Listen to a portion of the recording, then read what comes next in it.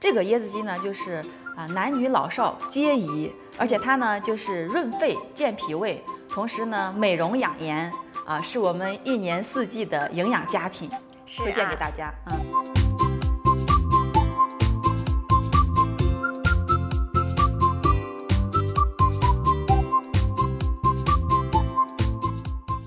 生活好管家，亲爱的观众朋友，大家好，欢迎收看今天的节目，我是主持人晶晶，有请嘉宾丹丹，你好，Hello，主持人好，Hello，大家好。从今天开始，我们好管家又多了一位美女嘉宾，欢迎你，谢谢谢谢。嗯，那今天准备给我们推荐什么菜品呢？椰子鸡。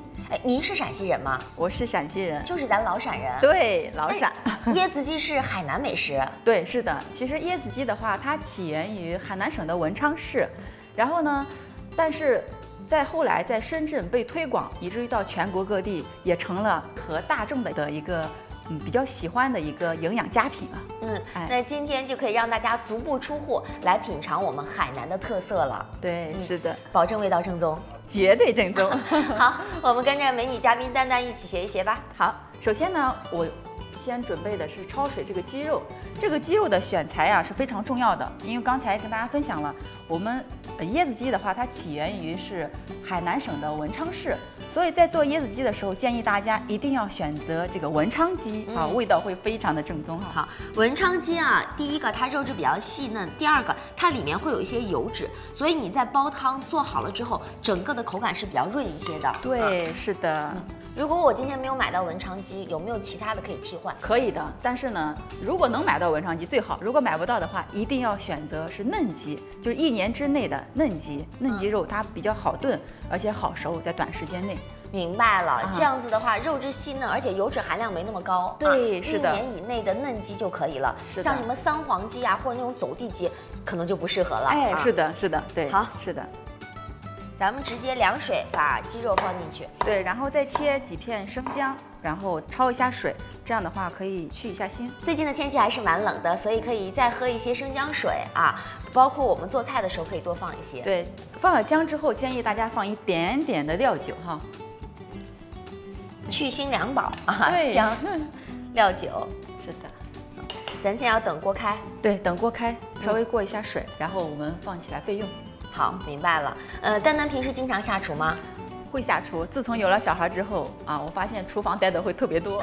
是的。为爱下厨，为孩子下厨啊。那有哪些菜品是你平时家里面经常吃，或者觉得比较推荐大家吃的？比如说啊，清蒸各种鱼哈，比如说鲈鱼，因为像鱼类的话，它的蛋白质非常高，尤其是像家里有老人啊、小孩，它的蛋白质的补充是一定要及时的。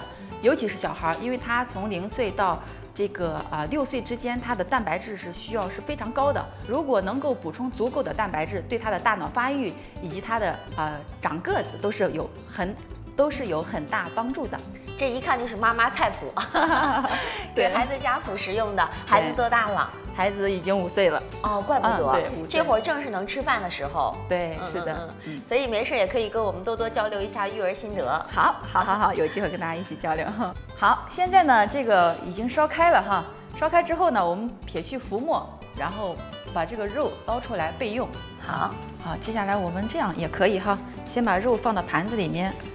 就直接捞，对，直接捞啊，直接捞，这样也可以的。因为咱这个汤是不用的嘛。对，汤是不用的。嗯啊，直接用筷子先夹出来肉块，放到盘子里面备用。我们焯一下，第一个去掉多余的油脂，第二个能够给它进行一个二次的一个清洗啊。对，因为咱的椰子鸡是连汤带肉哈一块儿的。嗯，大家去三亚的时候，遍地都是椰子鸡。哎，啊，是的，是当地的一个特色。它呢，一般就是你锅开了之后，先吃鸡肉啊，然后可以直接涮菜的，有点像那种火锅的感觉。对对对，需要调一个料汁，然后肉可以蘸料汁吃。之后呢，吃完肉啊，再美美的来一碗汤，简直是完美搭配。是 啊，有汤有肉有菜的。现在呢就非常简单哈，我们找一个砂锅，然后呢打开锅盖，这个水呢是之前烧了啊烧过的水，是温水。但是你这个水量加的比较少呀，不够啊。对，我们先看一下这个水是温的哈。接下来呢有一个点就是要准备我们的椰子啊，椰子，对，这个椰子，椰子的主角要登场了。对，嗯，呃，椰子的话，我们要先把这个。里面的椰水哈，全部倒出来，因为这个汤的话有椰水和椰肉，还有再加上我们的这个矿泉水一起来做。这样的话，放上椰肉和椰水的话，它的汤比较鲜哈。好，你看这个椰汁就出来了哈。接下来我们把这个椰子水倒入锅中啊。椰水啊，清热去火降燥，嗯，跟鸡肉搭配特别的合适。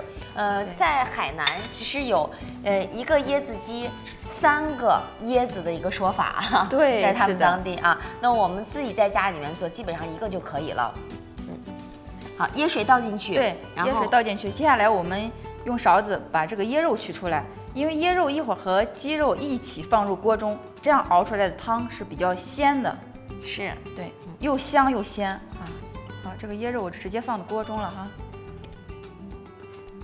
满满的这个椰香味儿。对。呃，在海南啊，我去旅游的时候就跟。酒店的老板进行攀谈的时候，他们说当地第一个会用红椰，因为那个椰子的甜度会比较高一些；要不然他们会用就是三到五年的这个老椰子，这样子整个的这个椰子比较清香，而且煮时间长，它不会后味发苦或者发酸啊。所以咱们选择椰子的时候也要选择哎清甜一些的椰子。对，是的，这个椰子的选择也是比较关键的哈。为什么很多人说放做椰子鸡有椰汁就可以了，不放椰肉行不行？其实呢，这就是一个点，你放上椰肉，它的那个香味更加的浓郁。所以在选择椰子的时候呢，建议选用老椰子哈，因为它可以耐熬一些，越熬越香。好了，椰汁和椰肉我们都已经放到锅里面了。对，嗯，接下来，接下来的话，我们要把鸡肉啊倒到锅中，鸡肉和椰肉的一个混合，倒到锅中，然后呢，再放两片姜姜片，放两片姜片去去腥。再放上啊几颗红枣，可以增加它的鲜味儿。红枣啊，补气血，补中益气。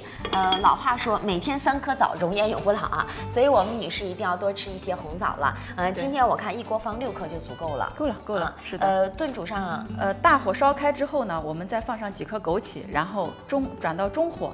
炖上十五分钟就可以了。嗯，因为鸡肉我们提前焯过了啊，在锅里面把它完全的融入味儿就可以了。好，那我们就耐心的等待一下，一会儿再回来。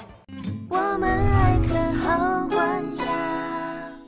好，我们椰子鸡啊，在锅里面已经炖了十五分钟了，我都闻到香味了。是的，来看一眼吧。啊，好。呃，我们换了一个卡瓷炉，你在家里面其实就可以连着锅、连着炉子一起上锅啊。对，这样子的话，从吃第一口一直到最后都是热乎的。哇，太香了，清香是吧？好香啊。嗯，好，接下来呢，我们放几颗枸杞啊，放几颗枸杞的话，也是增加一下它的鲜味，同时呢，也有很好的。既能增色还能补益啊！对对，这个俗话说，男人三十不得已，保温杯里泡枸杞。好，现在呢，我们美味的椰汤已经熬好了啊，应该能闻到特别香的味道吧？是海南美食。的，丹丹，你在第一次吃到这个道美食的时候，是不是也是这种感受？对我当时第一次吃到它的时候是在海南。在海南之后呢，我到广东去的时候，我也在找它。哇，真的是这种美食现在已经非常普遍了，在很多地方都能有到，都能看得到。是椰子鸡啊，有汤有水，吃起来口味是比较清淡清香，还有椰子的这种香甜，真的是很受大家的欢迎啊。那我们今天也把这道美食带给大家，一起来欣赏一下吧。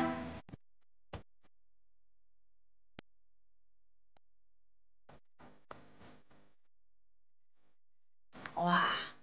这个汤好香哎，就这么一口，一下子梦回海南。哇，对，椰林沙滩海水就在你眼前展现了，整个的口感非常非常的清甜鲜美。然后大家看一下上面飘的这个油花，淡淡的这种油花一点都不腻口。是的，我没有想到，真的椰椰子选的太棒了，整个出来非常非常的甜，很好喝。对，所以呢。这个做椰子鸡啊，一个是椰子，一个是鸡，食材要选到啊，选好，嗯，选好。然后这个鸡肉我们吃起来是比较嫩的，没有什么那种很柴或咬不动那种口感。其次，外面微微的一层这个薄薄的油脂和这个皮脂，吃起来是刚好，很润口的。对啊，所以肉质细嫩鲜美，汤鲜甜可口，太棒了。在这里，丹丹给我们总结一下制作的要点吧。好。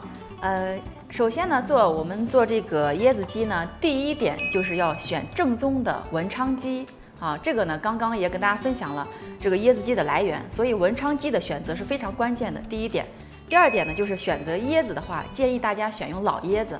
好，第三点呢，就是这个时间的把握，不宜过长，不建议超过二十分钟啊。如果过长，容易导致这个肉质过老，口感就会影响它的一个口感。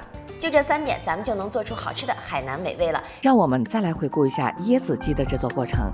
第一步，鸡肉凉水入锅，放生姜、料酒，水烧开起沫，捞出鸡肉备用。第二步，砂锅中加热水，倒入椰汁、椰肉、鸡肉、姜片、红枣，烧开炖十五分钟，撒上枸杞即可。好啦，下面的节目更加精彩，大家继续收看。